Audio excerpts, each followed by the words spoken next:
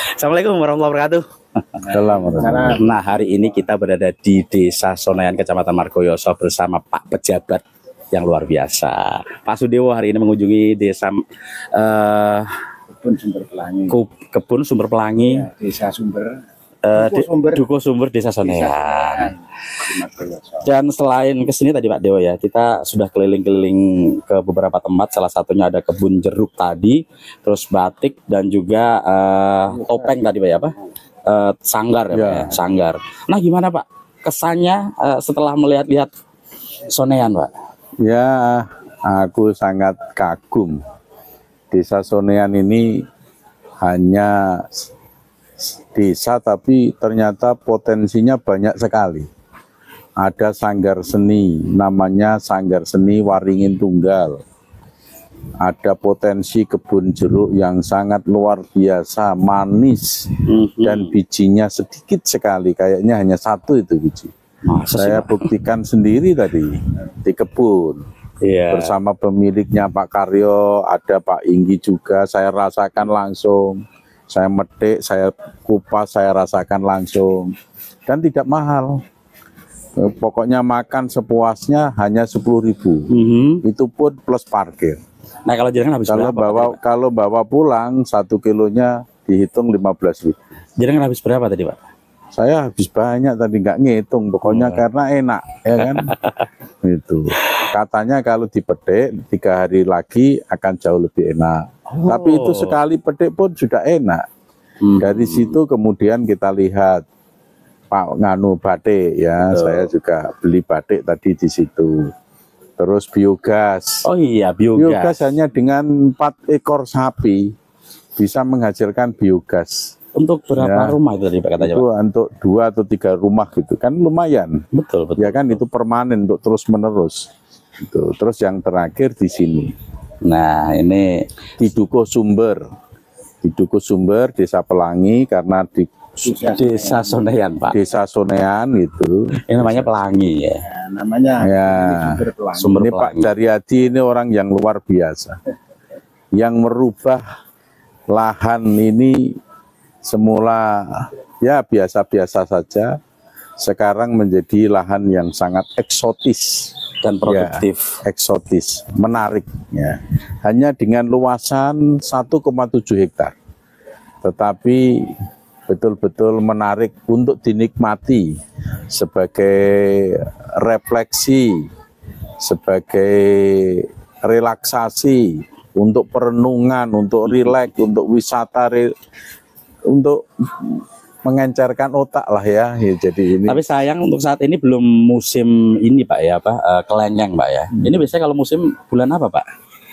Eh, kelengkeng ini kan saya awali pembosteran itu di bulan Mei, akhir Mei 28 Mei kemarin.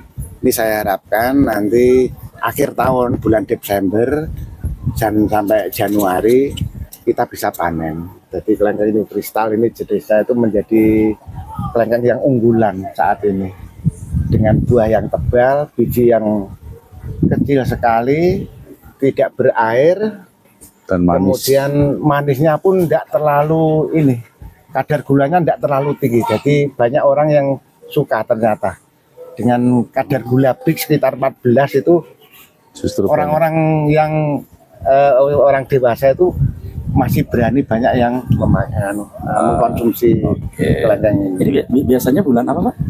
Ini nanti ya tiap bulan tak harapkan satu tahun ini dengan 140 pohon kelengkeng kristal ini tiap pengunjung di sini saya harapkan ada terus tiap hari Oh. karena kan kelengkeng kristal ini kan tidak kelengkeng musiman dia Oh. bisa di manajemen panen itu berpatokan dengan waktu pembosteran Oh gitu. Iya. Siap ke sini lagi Pak nanti Pak ya. Oh, ke sini lagi. Ke sini lagi. Makanya tolonglah warga Kabupaten Pati menikmati rekreasi tidak usah terlalu jauh. ya Nenggone kampungnya di wae, nenggone Kabupaten Pati, iki ora kalah menarik dengan objek wisata di kabupaten yang lain. Iki so relax, hijau, ada buahnya, buah kelengkeng, Jeruk. kemudian ada alpukat, ada nangka, Durian, Pak. durian, kemudian fasilitasnya juga lengkap, ada kamar mandi, toilet, ada kantin, ada tempat untuk nongkrong. Ini eh, kemasan yang dibuat oleh Pak Daryadi sebagai pemilik luar biasa.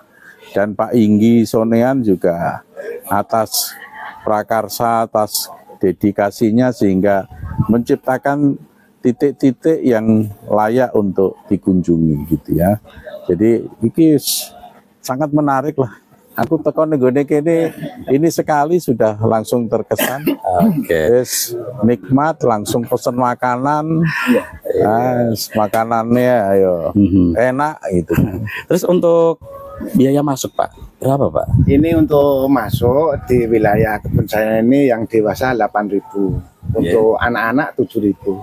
Dengan fasilitas yang saya sediakan di kebun ini untuk edukasi, untuk gathering, untuk petik buah, kemudian ada playgroundnya lengkap di situ, kemudian ada ini Pak zona untuk kolam terapi ikan aviari sama kelinci. Nah, ada di sebelah sana nanti. Luar biasa. Berarti kalau misalnya pas musim buah bisa metik gratis Pak dengan membayar itu? Oh gini, untuk perlakuan kelangkang ini kan sebagian pengunjung kan belum begitu banyak yang Iya. tahu karena warnanya kapan itu yang tua atau yang belum tua itu mirip-mirip semua. Jadi nanti dibimbing. Nah, jadi ada pengunjung yang mau Mencoba, beli ya. untuk mencoba mencicipi ada yang ngarahkan nanti biar tidak salah Ya. Ah, salah ini buahnya yang gede. Kalau misalnya beli per kilo bawa pulang gitu Pak. Ah, kemarin itu sesuai dengan ini. Kalau new kristal itu kualitasnya kan di atas itoh dari segi rasa itu biasanya 10.000 kalau new kristal itu 45 nanti itohnya itu kita jual 35 Oh. Ah, ya. Oke Pak Dewo. Ini Eh, dan ini nanti kalau saya menjadi Bupati Pati, ya mohon dukungannya ya warga Kabupaten Pati untuk saya menjadi Bupati dan Pak Ahmad Lutfi menjadi Gubernur Jawa Tengah. Engko iki dalan nggone Sonean dari jalan raya sana itu saya akan saya perbaiki, saya buat yang jauh lebih baik supaya potensi wisata sumber pelangi kebun ini dan sumber wis, eh, pariwis dan wisata yang lain di Desa Sonean itu bisa berkembang, warga bisa dengan mudah datang ke sini. Jadi itu. Just. Just sekali. Eh, sangat disayangkan ya tadi kita jalan ke sini aja itu eh, jalannya waduh jeglong jeglong banget. Kita berharap nanti eh, dengan adanya Pak Sudewo nanti semua akses yang ada di sini tuh gampang gitu Pak ya. Biar pengunjung juga nyaman gitu ya. Ya. Eh, biasanya kalau sekali ke sini itu udah nggak nyaman, malas ke sini Pak. ya. Kalau infrastruktur semuanya sudah diperbaiki, tentunya akan menambah daya tarik untuk masyarakat luas seperti itu. Oke, terima kasih waktunya Pak. Matur nuwun, matur nuwun. Ya, Oke. pokoknya dukungan selalu dari warga Kabupaten Pati supaya wisata Kabupaten Pati terus berkembang. Ya, saya kira itu matur nuwun. Assalamualaikum warahmatullahi wabarakatuh. Waalaikumsalam warahmatullahi wabarakatuh.